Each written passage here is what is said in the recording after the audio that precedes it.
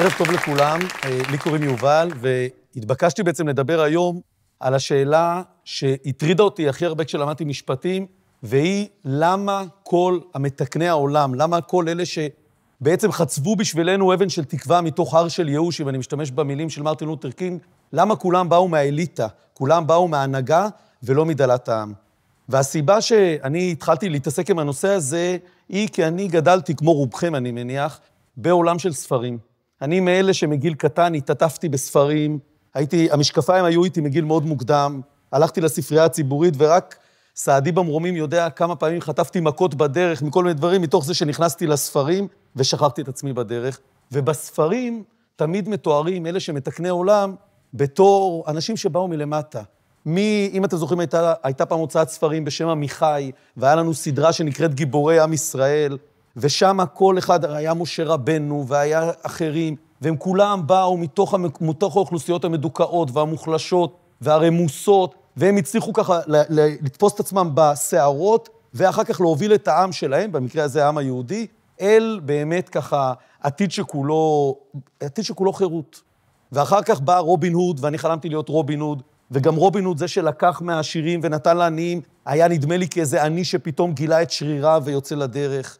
ואחר כך באו, כשהתחלתי ללמוד משפטים, באו פתאום אה, מהטמה גנדי, אבי האומה ההודית, האיש המרשים הזה, וגם הוא היה נדמה לי, איך יכול להיות ההודי הצנום הזה, עם הקול המוזר, איך הוא הצליח לתקן עולם, למרות שהוא באמת גדל בהודו, והצליח להביס את האימפריה הגדולה מכולם, את האימפריה הבריטית. ואותו דבר נלסון מנדלה, בחור שחור משבט כאילו בשוליים, איך הוא מצליח גם פתאום לקום, להתרומם ולהכות את השלטון הלבן המדכא. ואחר כך גם בא ברק אובמה, ואני בכלל ככה אמרתי, אוקיי, סוף כל סוף החלום יכול להתגשם. הנה, בחור שחור, מי היה מאמין פחות מ-60 שנה אחרי ההפרדה הגזעית, 80 שנה אחרי שאחרוני העבדים, העבדים הלכו לעולמם, אח... פתאום בא אה, נשיא שחור, זה לא יאומן. ואז התחלתי ללמוד משפטים. וכשלמדתי משפטים, חטפתי סטירה. כי פתאום הסתבר לי שכל אותן דמויות גדולות, כל אותם אנשים נאצלים, היו ממש לא מש... דלת העם, היו להפך. מנלסון מנדלה, שהיה אומנם במעמד, מבחינה משפטית במעמד אה, אה, ליגה ד', כי אה, בדרום אפריקה זה חולק לקבוצה של לבנים, בעלי הזכויות, וצבעוניים קצת פחות, והודים עוד יותר פחות, ושחורים בכלל לא. אז נכון שהוא בא מהקבוצה של השחורים, אבל הוא עצמו היה בן של צ'יף, גדל כ...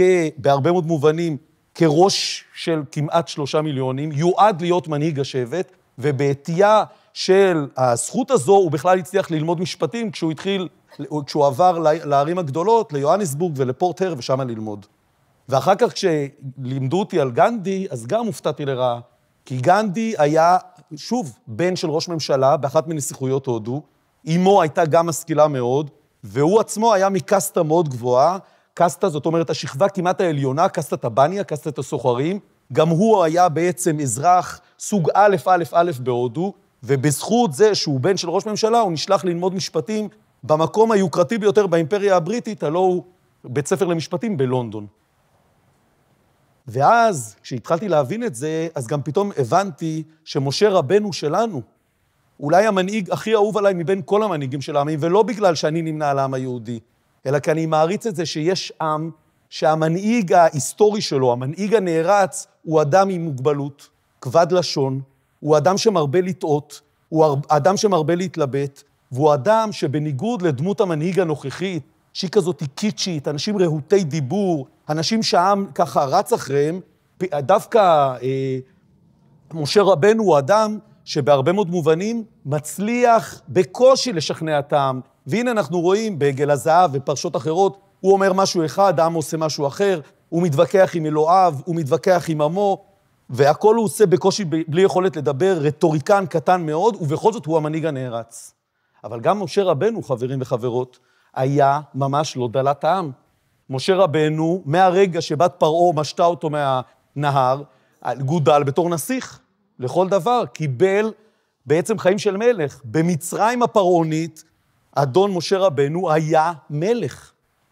אז גם פה אנחנו לא יכולים להגיד, כדרכו של מרקס, שהשינוי החברתי מתחיל מלמטה, שהחלום הזה, המרקסיסטי, של עם עבדים, של מישהו מהמדוכאים, מישהו מהמקוללים, שהוא יתפוס את עצמו והוא יוביל את המהפכה, אפילו שם זה לא מתגשם. וכשאני למדתי את זה והבנתי את זה, זה הטריד אותי. ושאלתי את עצמי, למה זה קורה? למה כל גדולי מתקני העולם באים מהשכבות החזקות? למה החזון המרקסיסטי הכל כך יפה הזה, של מי שסובל, שיום אחד נפטר מהסבל שלו, מצליח ככה להשליך את האזיקים ולצעוד אלי חירות, למה זה לא קורה? והתשובה היא תשובה מכעיסה, אבל חשוב לעמוד עליה. והתשובה היא, אנחנו מכנים אותו בשפה המקצועית, סינדרום כלוב הזהב. סינדרום כלוב הזהב זה אותו הציפור שנמצאת בכלוב, שהוא לא חייב להיות זהב אגב, אבל כשפותחים לה את הדלת, היינו מצפים שהיא ככה תפרוס כנפיים ותצא, ומרבית הציפורים לא יוצאות. והן לא יוצאות מתוך מה שאנחנו במשפטים קוראים לו שנאת סיכון, שאומרת, מרביתנו, מרבית בני אדם, לפי המחקרים, המחקרים הסטטיסטיים, אנחנו מדברים על קרוב ל-90 אחוזים מהאנושות, הם שונאי סיכון. רובנו מפחדים מהלא מוכר הרבה יותר מהמוכר. וזה אומר שגם אם רע לנו, וגם אם איפה שאנחנו חיים היום זה לא מה שאנחנו רוצים לחיות, אנחנו עדיין נעדיף אותו על ללכת למקום אחר שעשוי להיות יותר טוב, אבל הוא לא מוכר. ואני יכול לומר לכם את זה כעורך דין קהילתי שעבד במקלט לנשים מוכות, שראיינתי שם הרבה יותר מאשר אישה מוכה אחת, ושאלתי בהתחלה, כשעוד העזתי לשאול שאלות, בינינו טעות של טירון, אסור לשאול שאלות כאלה, אבל שאלתי, איך יכול להיות שלא קמת? ולא שאלתי את זה פעם אחת, ולא שאלתי את זה פעם שנייה, פעם, אלא שאלתי את זה המון פעמים בהתחלה, וקיבלתי כל פעם כמעט את אותה תשובה. ומישהי אחת אמרה תשובה שהכי הדהדה לי בראש תקופה ארוכה. היא אמרה לי, פה, 13 שנים של אלימות. פה השירותים היו נקיים. שזה אומר מה? שבחוץ היא חששה ממה? שאפילו שירותים נקיים לא יהיו לה. וזה נכון לגבי נשים מוכות, וזה נכון לגבי העבדים בארצות הברית, שגם אחרי שאברהם לינקולן משחרר אותם ועושה את האמנציפציה המרהיבה הזאת ב-1863, ואומר אין יותר עבדות בארצות הברית, מרבית העבדים יישארו עבדים בחוות. ולא יעלו צפונה ולא יצאו לחופשי, כי הם יעדיפו את סיר הבשר. כי הם ידעו שהם הם בעצם חוששים שהם בחוץ יהיה להם עוד יותר גרוע. ואנחנו שוב יכולים לחזור לסיפור הכי גדול של עם ישראל, סיפור היציאה ממצרים. דקה אחרי שגומרים לעבור את הנהר, דקה אחרי, קושי ראשון, מה העם אומר? געגוע עצום וכעס על זה שעזבנו את סיר הבשר אשר ידענו. ולכן הדורשים אצלנו אומרים שרק חמישית מבני העם העברי עזבו את מצרים. ארבע חמישיות נשארו שם. שוב אותה שנאת סיכון. וחברים, בואו נהיה כנים, כולנו כך.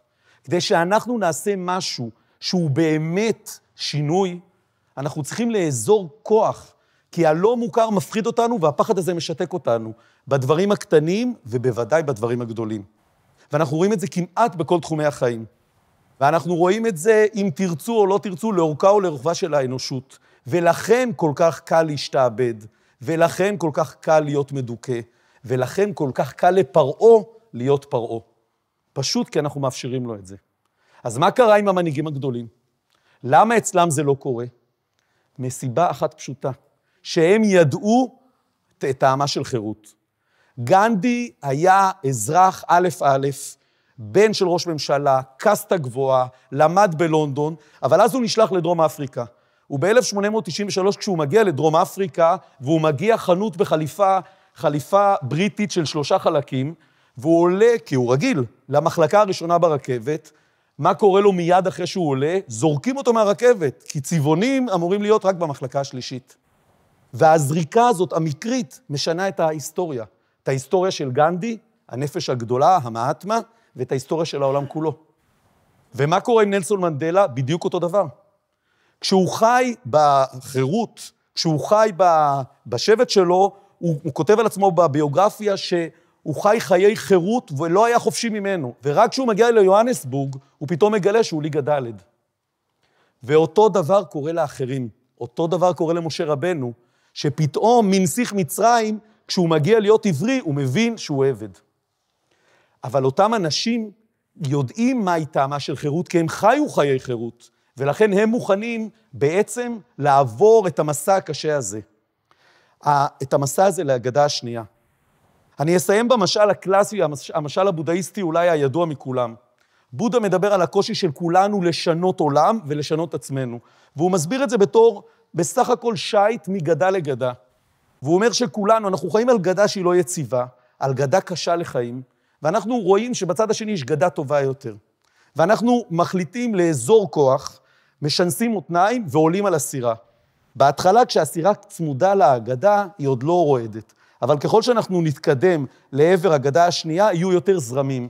ואז הסירה תתחיל להתנדנד, ואז אנחנו חלקנו נקי, ויהיה לנו פיק ברכיים, ויהיה לנו עוד יותר קשה, וזה השלב שבודה אומר את זה תיאורטית, אנחנו היום יודעים את זה מחקרים מעשיים, אמפיריים, זה השלב שהרבה מאוד אנשים משיבים את הסירה אחורה ואומרים, עדיף לנו סירה בשר.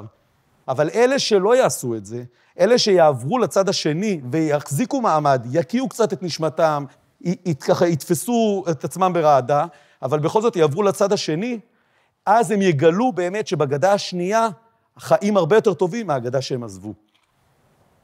נלסון מנדלה, מהטמה גנדי, משה רבנו, ברק אובמה, אם תרצו, היו אנשים שידעו מה מחכה בגדה השנייה, ידעו מהי טעמה של חירות, ולכן יכלו לצאת לדרך ולמשוך את כולנו. ואם אנחנו רוצים שההמונים יצטרפו אליהם ויילחמו בשעבוד, בדיכוי וברמיסת הזכויות, אנחנו צריכים שכולם יטעמו את טעמה של חירות, ואז אף אחד לא יעז לוותר עליה. תודה, חברים.